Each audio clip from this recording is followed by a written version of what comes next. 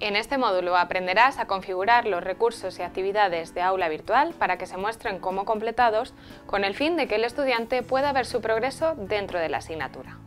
Por otro lado, conocerás el recorrido que ha hecho a lo largo de la asignatura gracias a los informes y verás los pasos necesarios para crear una copia de seguridad y restaurarla de manera total o parcial.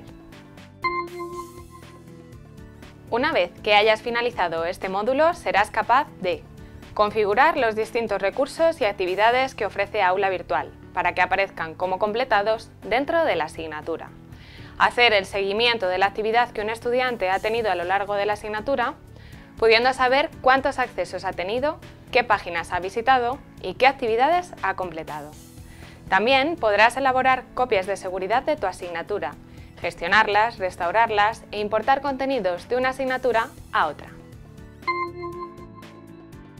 Este módulo está formado por tres unidades. En cada una de ellas encontrarás los materiales de la misma y varios ejemplos guiados que te ayudarán a realizar paso a paso las distintas acciones y actividades.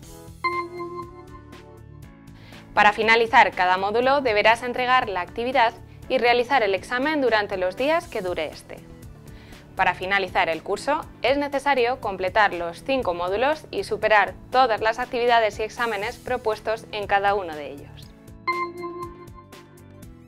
Esperamos que este módulo te ayude a conocer y aplicar las diferentes funcionalidades de los informes y las copias de seguridad.